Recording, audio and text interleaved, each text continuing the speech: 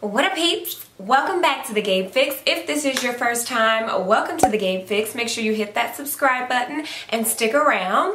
Today I am experimenting with color again. If you've been a follower of my channel for a long time, you know that I got my hair color two years ago and loved it for a little bit and then I hated it and it was a situation and then I got the hair colored over like I got a demi rinse of just my natural hair color because I was over it so in that time I would wear the Gabrielle wig in the ombre color which is a 1B 33 and I loved it but my hair was colored so it was kind of similar to the color of the ombre unit. So my hair is not colored anymore. And I came across a new ombre Gabrielle in my stash. Yes, because I have a stash. And I was like, oh, let me see what this looks like with my hair. I believe when I first did a video on this unit, I didn't have my hair colored and it looked it looked fine it looked good but then when I wore it the most my hair was colored so it matched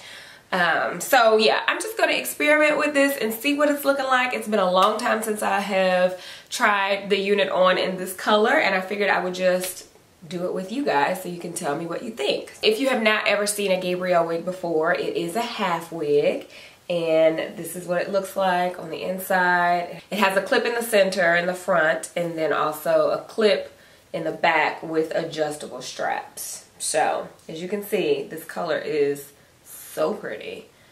I think this is my favorite color of the Gabrielle unit. Obviously 1B because that's the closest to my hair, but this, beautiful. So let's see what it's talking about. Oh, and really quick, if you're interested in how I tie my scarves like this, I do have a video. All you have to do is click the eye at the top and you can watch the video. So let's get started.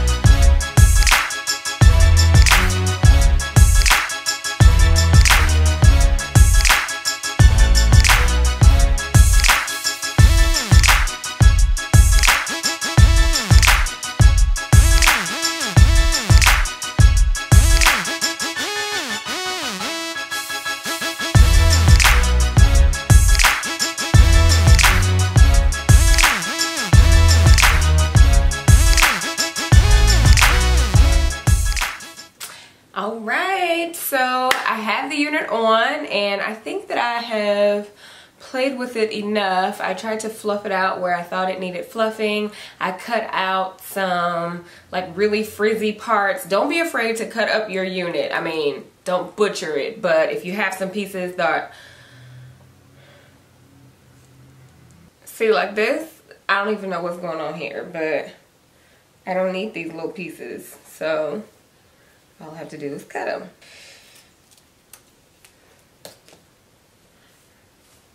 Okay, so as I was saying, don't be afraid to cut off ends that don't look good, hair that's too frizzy, because you want it to look how you want it to look. I personally prefer it when it is super defined, not very frizzy. So if the ends ain't looking right, I'm cutting them off. But you know, do that within moderation because you don't want to chop the whole wig off. I have done that before and it was a situation. I got a little too scissor happy. So let me know what you think. Can I still pull off the ombre Gabrielle with this beautiful color, which is perfect for the springtime? Uh, yeah, let me know your thoughts. If you have not gotten your hands on this particular color, get it because it is perfect for the spring right now. Go right now to ToniDaily.com. I'll even have a link in the description box, y'all. I'm feeling myself. And I want y'all to feel yourselves too when y'all wear this unit, okay? This color is just, I don't know, something about color just makes you feel good, right? Like, and then you ain't even damaging your hair because it's on a unit. Perfect. so if you guys have any questions, comments, or concerns, you know what to do. Leave those down below. And as always, thank you so much for watching, and I'll see you in the next video.